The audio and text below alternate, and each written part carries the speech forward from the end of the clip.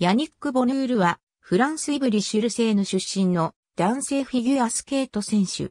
2006年トリノオリンピック、2010年、バンクーバーオリンピックペアフランス代表、フランス選手権、優勝5回。パートナーは、アデリーヌ・キャナック、バネッサ・ジェームス、マリリン・プラなど、ルシー・シュターゲルマンとのペアで2002年のフランス選手権で3位に入る。翌2002から2003シーズンにマリリン・プラとペアを結成し2003から2004シーズンからグランプリシリーズに参戦。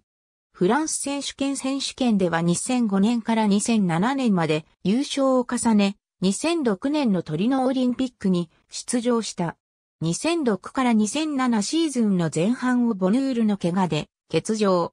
フランス選手権、欧州選手権で復帰を果たしたが、シーズン終了後にパートナーのプラが引退しペアは解散した。2008年の1月からイギリスの女子シングル選手、バネッサ・ジェームスとペアを結成。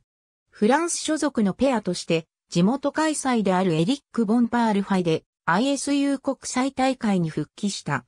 2009年世界フィギュアスケート選手権で12位に入り、この成績により翌年開催のバンクーバーオリンピックペア競技へのフランス選手の出場枠を獲得。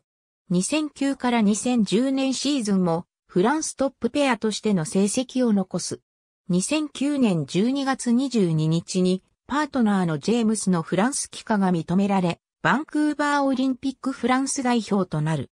バンクーバーオリンピックでは14位、2010年世界選手権では12位の成績を残すが、シーズン終了後ジェームスとのペアを解消、新たにキャナックとペアを結成した。競技の一戦から退き、現在はアネッテ・ディトルトとのペアでアイスショーに参加している。ありがとうございます。